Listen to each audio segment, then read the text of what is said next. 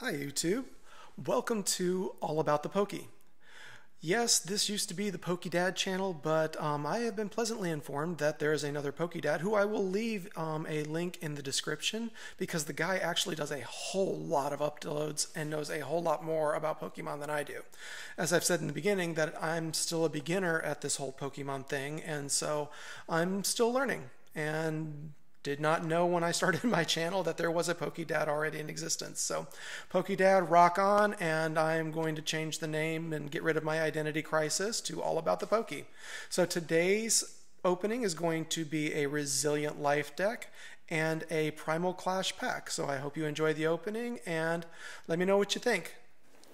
Okay, so here's what we have. We have a basic XY Xerneas deck and a Primal Clash pack for the day and we're going to start with the XY Xerneas deck.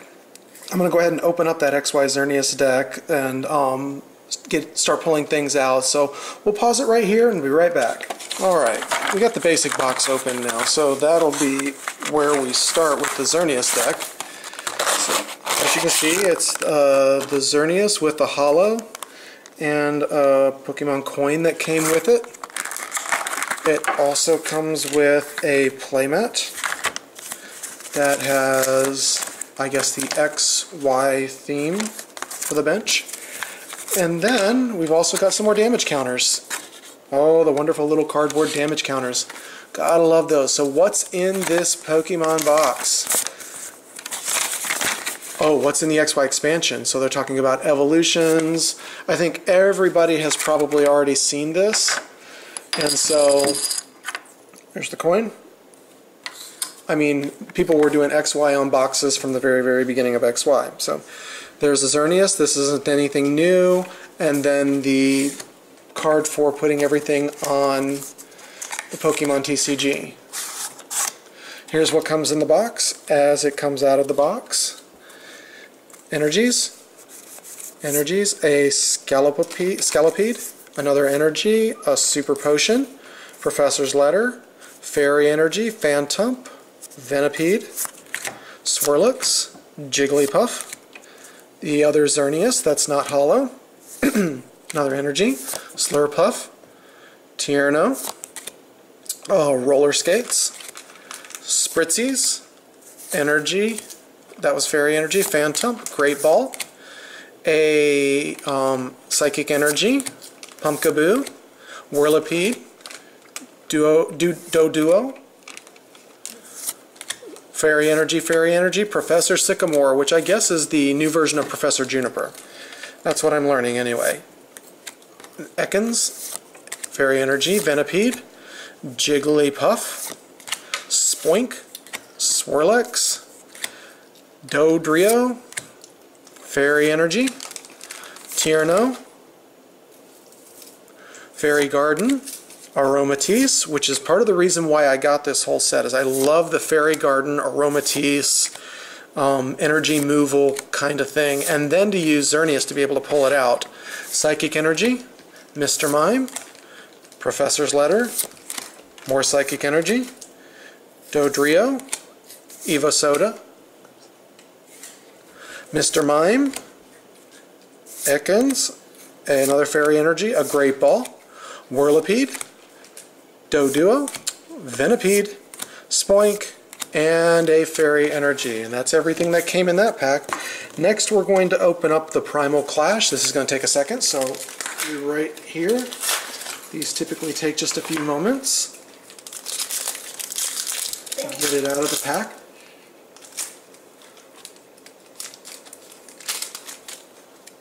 Flip it over, do the three card thing and we're ready to see what we got in Primal Clash. This is a Linoone, a Vibrava,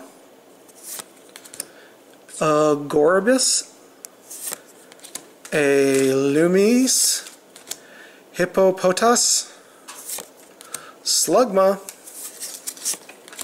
Nidoran, Trapinch, Dive Ball, and a Magcargo. So those were the cards that we got from the Primal Clash pack. So I wanted to give a shout out in this episode to Tony Gwen. I hope I'm pronouncing your name correctly, um, for his response about the Robo Substitute Pokemon. So I'm going to read to you what he said. As for Robo Substitute, it is an item card that turns into a basic Pokemon only when you put it on your bench. Because it's not considered a Pokemon while in your hand, you cannot choose it as your active Pokemon at the start of a game, but you may play it anytime during your turn. When it's on your bench, you can retreat another Pokemon into Robo Substitute or switch into it when your active Pokemon is knocked out. It cannot retreat just as the text says, so but you can discard it to switch into a different Pokemon on your turn. It also has no attacks.